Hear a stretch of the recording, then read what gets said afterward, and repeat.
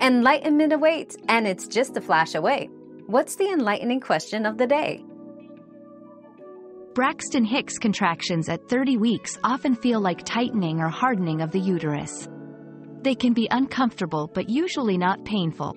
Unlike true labor contractions, they are generally irregular and do not increase in intensity or frequency. Staying hydrated and changing positions can help alleviate discomfort. If contractions become painful or regular, consult a healthcare provider. We've quenched today's curiosity, but there's always more to learn. Keep the curiosity alive by subscribing and joining us for our next adventure.